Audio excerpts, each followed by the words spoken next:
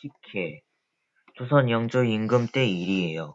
나라에 흉년이 들어 많은 백성들이 굶주렸어요.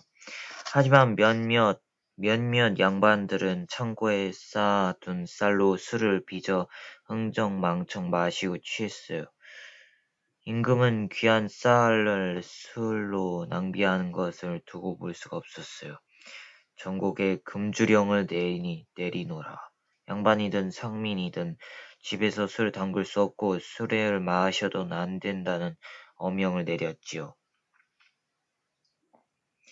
하지만 군사들과 농민들이 힘들어 힘들게 일한 뒤 막걸리와 보리 보리술을 마시는 것만은 허락했습니다. 허락했답니다. 왕이 막으려던 것은 쌀을 낭비하여 고급 술을 만들어 먹는 양반들이었으니까요. 왕인 나 또한 술을 단 한 방울도 마시지 않겠다. 나라의 제사와 모든 행사에도 술 대신 단술을 쓰도록 해라. 금주령을 어긴 자는 누구로 누구라도 엄중하게 벌을 할 것, 벌할 것이다. 사실 영조에는 이전에도 여러 번 금주령을 내렸지만 잘 지켜지지 않았어요. 술을 마시다 들키면 버스를, 벼슬을 빼앗기고 귀양을 가야 하는 줄 알면서도 술을 좋아하는 양반들은 여전히 몰래 술을 마셨지요. 그러다 윤규현이라는 자가 금주령을 여긴 죄로 사형을 당하고, 당하고 말았어요.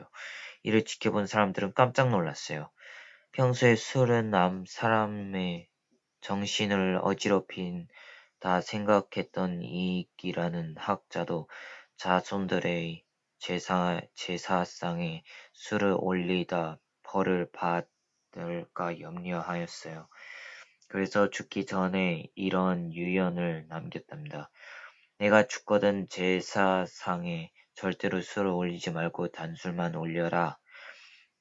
그래서 이게 자손들은 제사상에 술 대신 단술, 즉 식혜를 올렸답니다. 식혜는 밥과 엿기름을 함께 발효시켜 만든 우리나라 전통 음료예요. 술의 주요 성분인 알코올은 들어있지만 달콤한 술이라 하여 감주 또는 단술 이라 부르기도 해야 할지요.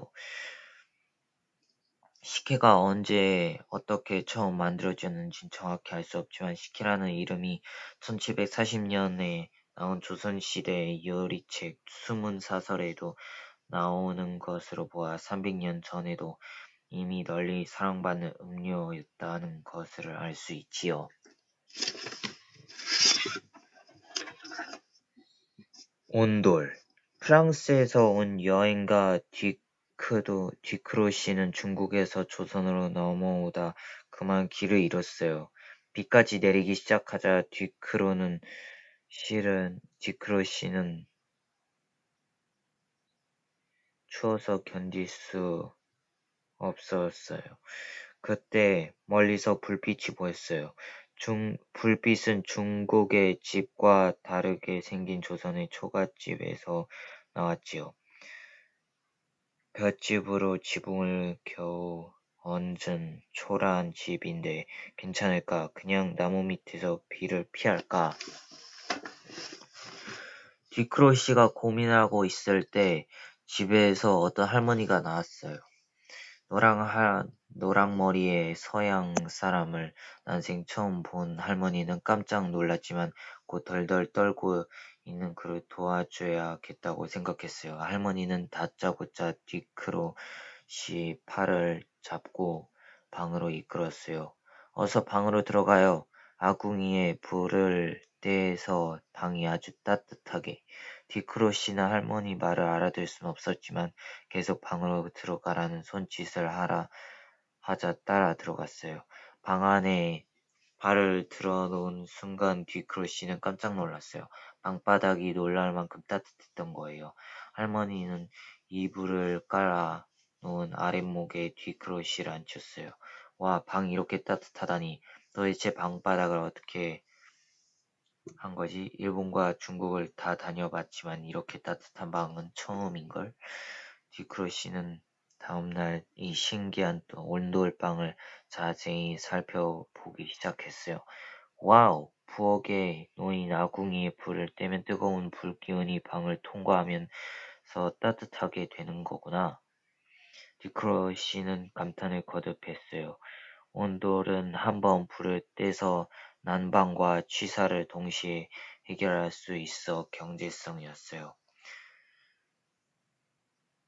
아침밥을 지을 때 아궁이에 불을 떼면 온종일 방이 따뜻했다가 방이 식을 때쯤 저녁밥을 지으면 음, 지으면 다음 날 아침까지 따뜻하게 지낼 수 있다는 사실을 알고 더욱 놀랐지요.